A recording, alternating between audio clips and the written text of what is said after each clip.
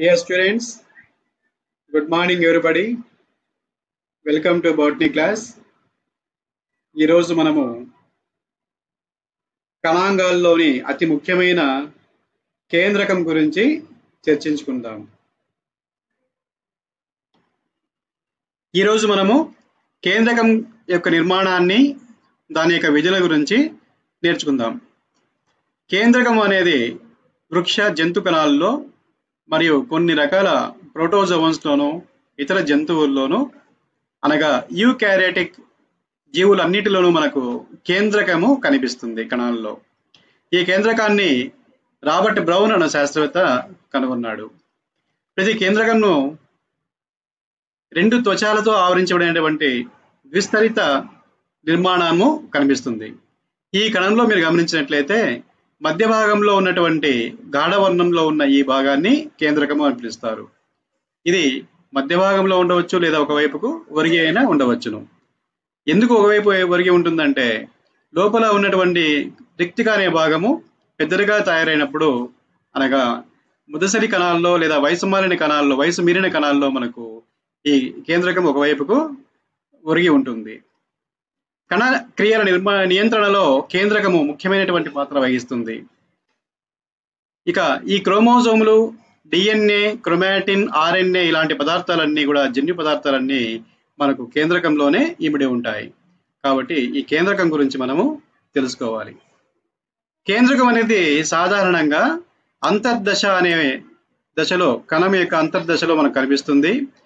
సమవిభజన దశలో మనకు కేంద్రకాలు ఉండకుండా వాటి స్థానంలో క్రోమోజోములు ఉంటాయి. క్రోమోజోములు ఎక్కడి నుంచి వచ్చింటాయి? కేంద్రకంలో ఉన్నటువంటి క్రొమాటిన్ అనే పదార్థము క్రోమోజోమ్గా మారుతుంది. కావున మనం కేంద్రకాన్ని అంతర్దశలో గమనిస్తాము క్రోమోజోములను సమవిభజన దశలో గమనిస్తాం. సాధారణంగా ప్రతి కణంలోనూ ఒక కేంద్రకం ఉంటుంది. వీటిని ఏక కేంద్రక కణాలు అని పిలుస్తారు. కొన్ని శిలీంధ్రాల్లో మనము కేంద్రకాలే రెండు కేంద్రకాలు ఉన్నటువంటి కణాలను గమనించవచ్చు. వీటిని ద్వికేంద్రకైతము అని పిలుస్తారు. రైజోపస్ లాంటి శిలీంధ్రాల్లో మనము ప్రతి శిలీంద్ర జాలంలోనూ అనేక కేంద్రకాలు కనిపిస్తాయి. వీటిని బహుకేంద్రక స్థితి అని పిలుస్తాము లేదా సీనోసైటిక్ కణాలు అని పిలుస్తాము. సాధారణంగా క్రోమోజోములు ఒక సెట్ కలిగి ఉంటే వాటిని ఏకస్థితికమని రెండు దశలు లేదా రెండు సెట్స్ కలిగి ఉంటే వాటిని మనము ద్వైస్థితికము అని పిలుస్తారు. సాధారణంగా మానవుల్లో కానీ ఆవృత బీజ మొక్కల్లో కానీ ద్వైస్థితిక స్థితిని మనం గమనించవచ్చు.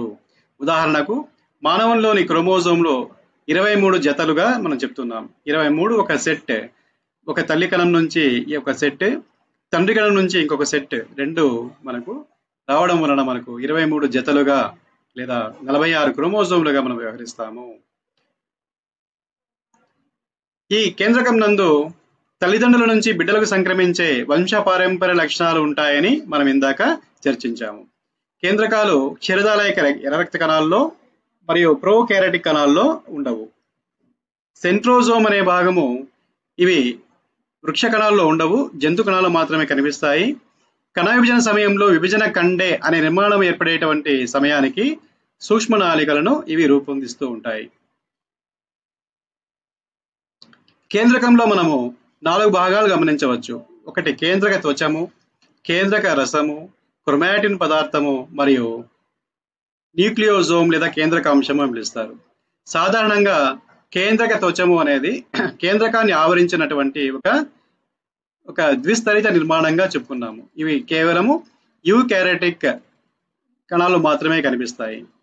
మనము ఈ వీడియో లేదా ఈ వీడియో చివరి భాగంలో ఒక క్లిప్పింగ్ చూపిస్తాను. ఆ సమయంలో మీరు కేంద్రక త్వచాన్ని కూడా గమనించవచ్చు. తర్వాత కేంద్రక రసము అంటే కణ కేంద్రకం లోపల ఉన్నటువంటి ద్రవ పదార్థాన్ని మనము కేంద్రక రసము లేదా న్యూక్లియర్ శాప్ అని పిలుస్తారు. దీనినే క్యారియో లింఫ్ అని కూడా పిలుస్తాము. ఇందులో ప్రోటీన్లు ఆర్ఎన్ఏ జల విశ్లేషక ఎంజైమ్లు పాస్పోలిపిడ్లు మరియు అన్ని రకాల కర్బన అకర్బన పదార్థాలు డిఎన్ఏ ప్రతిదికి కావాల్సినటువంటి నిర్మాణానికి కావాల్సినటువంటి పదార్థాలు మనము ఈ కేంద్రక రసంలో గమనించవచ్చు. కణ విభజన సమయంలో ఈ వీటి యొక్క పాత్ర అధికంగా ఉంటుంది. కైంటోజోమ్లు సూక్ష్మ నాలుకలు అనేవి మనము కొన్ని కణాలు మాత్రమే గమనిస్తూ ఉంటాం. ప్రత్యేకంగా కైనటోజోములు కషాబాలు శైలికలను నియంత్రించేటువంటి కొన్ని రకాల కణాంగాలు. అదేవిధంగానే సూక్ష్మ నాళికలు కణత్వచంతో లేనటువంటి కణద్రయంలో ఉన్నటువంటి ప్రోటీన్లతో ఏర్పడిన నిర్మాణాలు ఇవి కణానికి ఆకారాన్ని ఇవ్వడంలోనూ కణంలో జరిగే జీవ పదార్థ భ్రమణం వంటి కణాంతర కదలికల్లోనూ ఉపయోగపడుతూ ఉంటాయి. కణంలో పదార్థాల రవాణాలను కణ విభజనలోనూ ఇవి తమ యొక్క వంతును విధిని నిర్వహిస్తూ ఉంటాయి. ఇక ముఖ్యమైనటువంటి భాగము కేంద్రకం నందు క్రొమాటిన్ తంతువులు. ఈ క్రొమాటిన్ తంతువులు అంతర్దశ కేంద్రకంలో క్రొమాటిన్ పదార్థము లేదా చిక్కుబడినటువంటి వలవలే కనిపిస్తుంది. క్రోమా అనగా రంగును అభిరంజనాన్ని గ్రహించేటువంటి నిర్మాణాలు. ఇవి అక్కడక్కడ గాఢమైనటువంటి ముద్దుల్లాగా కనిపిస్తున్నాయి. వీటిని మనం హెటెరోక్రోమాటిన్ అని పిలుస్తారు. హెటెరోక్రోమాటిన్ మరియు యూక్రోమాటిన్ అనేటువంటి రెండు భాగాలు గమనిస్తున్నాము. గాఢంగా ఉన్నటువంటి భాగాలను హెటెరోక్రోమాటిన్ అని లేత వర్ణంలో ఉన్నటువంటి భాగాలను యూక్రోమాటిన్ అని పిలుస్తాము. హెటెరోక్రోమాటిన్ అనేది క్రియాశీలతాన్ని తగ్గిపోయి ఉంటుంది. యూక్రోమాటిన్ నందు జన్యువులు క్రియాశీలత కలిగి ఉంటాయి. యూక్రోమాటిన్ భాగంలో డిఎన్ఏ అధికంగా ఉండడం వల్ల క్రియాశీల సంయువులు జన్యువులు ఎక్కువగా ఉంటాయి. క్రొమాటిన్ పదార్థము తంతువులను క్రోమోజోమ్లని పిలుస్తాము. క్రొమాటిన్ నందు డిఎన్ఏ మరియు ఆర్ఎన్ఏ ప్రోటీన్లు ఉంటాయి. ప్రోటీన్లలో హిస్టోన్లు నాన్ హిస్టోన్లు అనే రెండు రకాల ప్రోటీన్లు ఉన్నాయి. ఇవి డిఎన్ఏతో గట్టిగా బంధించబడి ఉంటాయి. హిస్టోన్ ప్రోటీన్లు ఆమ్లగుణం కలిగి ఉండి కేంద్రక రసంలో ఉంటాయి. ఇవి జన్యు వ్యక్తీకరణలో కూడా ఉపయోగపడుతూ ఉంటాయి. ఉదాహరణకు ఆర్ఎన్ఏ పొలిమరేజ్ ఎంజైమ్స్. ఇక క్రొమాటిన్ పదార్థము కేంద్రక విభజన సమ- సమయంలో క్రోమోజోములుగా ఇవి రూపొందుతూ ఉంటాయి. క్రోమోజోములు సన్నటి సున్నితమైన దారాల వంటి నిర్మాణాలు. ప్రతి కణంలోని వీటి సంఖ్య స్థిరంగా ఉంటుందని మనము ఉదాహరణ సహితంగా ఇందాక డిస్కషన్ చేశాము. ప్రతి క్రోమోజోమ్లోనూ ఒక డిఎన్ఏ అణువు ఉండి జన్యువులన్నీ ఒక వరుస క్రమంలో ఉంటాయి. జన్యువులు అనువంశిక లక్షణాలను ఇవి తరతరాలకు మోసుకెళ్తూ ఉంటాయి. క్రోమోజోమ్లను మొదటిసారిగా ఆఫ్ మినిస్టర్ పద్దెనిమిది వందల నలభై సంవత్సరంలో గుర్తించాడు. వీటిని వాల్డేయర్ అనే శాస్త్రవేత్త క్రోమోజోమ్లని పిలిచాడు. శారీరక లక్షణాలను అదుపు చేసేటువంటి క్రోమోజోమ్లను శారీరక క్రోమోజోమ్లని ఆటోజోమ్స్ అని సొమాటిక్ క్రోమోజోమ్స్ అని పిలుస్తారు. లైంగిక లక్షణాలను ఆధారంగా చేసుకొని ఉన్నటువంటి క్రోమోజోమ్లను లేదా లైంగిక లక్షణాలను నియంత్రించేటువంటి క్రోమోజోమ్లను లైంగిక క్రోమోజోమ్లని లేదా అల్లోజోమ్లని పిలుస్తాము. కణంలో సాధారణంగా లైంగిక క్రోమోజోమ్లు తక్కువ సంఖ్యలో ఉంటున్నాయి. అదే ఇందాక మనము మానవుల్లో ఎక్స్ మరియు వై క్రోమోజోమ్లని తెలిపాము. ఇక కేంద్రకాంశం అనేది ప్రతి కేంద్రకంలో ఒకటి లేదా రెండు వరకు ఉండవచ్చు. వీటిని ఫాంటనా అనే శాస్త్రవేత్త గుర్తించాడు. ఇవి కేంద్రకాంశములు సాధారణంగా ఇవి రైబోజోమ్స్ ఉత్పత్తి అయ్యేటువంటి కేంద్ర భాగాలుగా మనం గుర్తించాలి. ఇవి ప్రత్యేక క్రోమోజోమ్ల నిర్దిష్ట ప్రాంతంలో ఉంటాయి. ఈ స్థానాలను కేంద్రకాంశ నిర్ది- నిర్మాణ ప్రాంతాలు అని పిలుస్తారు. ఎలక్ట్రాన్ మైక్రోస్కోప్లో గమనించినప్పుడు కేంద్రకాంశంలో మూడు రకాల నిర్మాణాలు ఉంటాయని తెలిసింది. ఇక ఈ కేంద్రకం గురించి మనము ఒకసారి పునర్వి పునర్విమర్శ చేసుకున్నట్లయితే ప్రతి కణంలోనూ కేంద్రకం మధ్య భాగంలో ఉంటుంది. కేంద్రకం గల కణాలను మనం యూ క్యారెటిక్ కణాలు అని పిలుస్తాము. కేంద్రకం చుట్టూ ఒక విస్తరిత నిర్మాణము ఆవరించబడి ఉంటుంది. కేంద్రకంలో నాలుగు భాగాల్లో కేంద్రక త్వచము తర్వాత కేంద్రక రసము కేంద్రకాంశము మరియు క్రొమాటిన్ పదార్థం అని చెప్పుకున్నాము.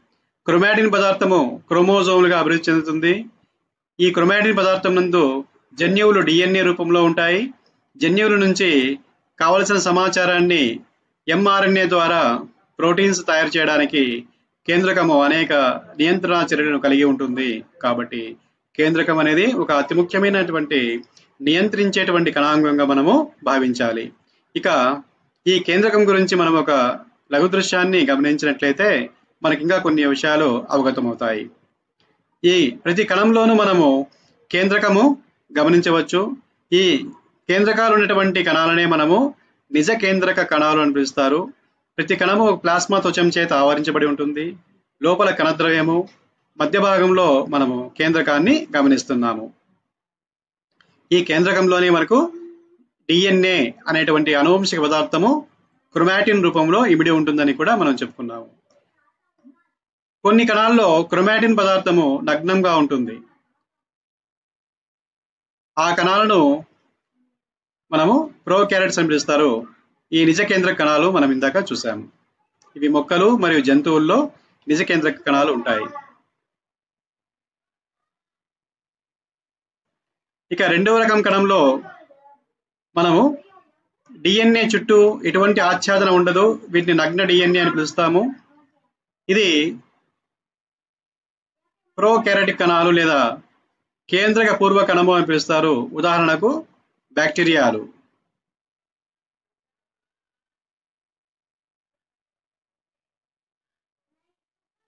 ఈ కేంద్రకం అనేటువంటి నిర్మాణము కణ మధ్య భాగంలో ఉంటుందని చెప్పుకున్నాము. దీన్ని ఆవరించి కణ త్వచ కేంద్రక త్వచం ఉంటుంది. కేంద్రక త్వచానికి కొన్ని రంధ్రాల ద్వారా కణ పదార్థాల్లోనికి రవాణా జరుగుతూ ఉంటుంది.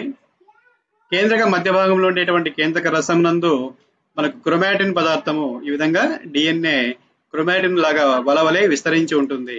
ఇవి సమవిభజన సమయానికి క్రొమాటిన్ పదార్థము సంకోచం చెంది మనకు క్రోమోజోములుగా ఏర్పడతాయి. ఈ దృశ్యంలో మనకు క్రోమోజోములు సంకోచం చెంది ఏర్పడేటువంటి దృశ్యాన్ని గమనిస్తున్నాము కావున క్రోమోజోమ్స్ అనేటివి అనువంశిక లక్షణాలను తీసుకెళ్ళేటువంటి వాహకాలుగా మనం భావించాలి. ఇక చివరిది న్యూక్లియోలస్ లేదా కేంద్రకాంశము అని పిలుస్తారు. ఈ న్యూక్లియోలస్ను మనము రైబోజోమ్ల యొక్క ఉత్పత్తి స్థానాలుగా భావిస్తున్నాము. రైబోజోమ్స్ అనేవి కేంద్రక రంధ్రం ద్వారా వెలుపలికి అనగా కేంద్రక ద్రవ్యంలోనికి కణ ద్రవ్యంలోనికి ప్రవేశించి అక్కడ మనకు ప్రోటీన్ సంశ్లేషణలో ఉపయోగపడుతూ ఉంటాయి. ఈ విధంగా మనము కేంద్రకం యొక్క నిర్మాణాన్ని అది నిర్వహించేటువంటి విధుల గురించి ఈరోజు తెలుసు ఇది ఇప్పుడు మనకు ప్రపంచం అంతా కూడా వణికిస్తున్నటువంటి ఈ కోవిడ్ నైన్టీన్ వైరస్. ఈ కోవిడ్ నైన్టీన్ వైరస్లో జన్యు పదార్థం మనకు డిఏ ఆర్ఎన్ఏ ఉంటుంది. ఇందులో మనకు కేంద్రకం అనేటువంటి భాగం కనిపించదు. కానీ అందులో న్యూక్లియో ప్రోటీన్ రేణువుగా మనం చెప్తున్నాము. కేవలము ఒక ఆర్ఎన్ఏ దాని చుట్టూ ఉన్నటువంటి ఒక కవచం లాంటి ప్రోటీన్ క్యాప్సిడ్ అనేది కనిపిస్తుంది. దానిపైన అనేక సంగ్రహణ ప్రోటీన్స్ మరియు కొన్ని రకాల ఎంజైమ్స్ ఉన్నాయి. అనగా ఈ జన్యు పదార్థము కేవలం డిఎన్ఏనే కాదు ఆర్ఎన్ఏ కూడా కొన్ని నిమ్న జాతుల్లో మనకు జన్యు పదార్థంగా కూడా ఉంటుంది. ఈ జన్యు పదార్థం ప్రతికృతి చె- చెందేటువంటి సారాంశము మరి యొక్క క్లాస్ దీని గురించి డిస్కస్ చేద్దాం. కావున ఈ కోవిడ్ నైన్టీన్ బారిన పడకుండా మీరందరూ కూడా సురక్షితంగా ఉండండి. ఈ కొన్ని రకాల జాగ్రత్తలు తీసుకున్నట్లయితే కరోనా వైరస్ నుంచి మనం దూరంగా ఉండి ఈ వ్యాధి నుంచి మనము కాపాడబడతాము. Say be safe stay distance. Thank you very much. ఈ పాఠ్యాంశం గురించి మీరు అసైన్మెంట్స్ తయారు చేసుకొని నోట్స్ రాసుకున్నట్లయితే పరీక్షల సమయానికి మనకు ఉపయోగపడుతుంది. All the best. Good luck.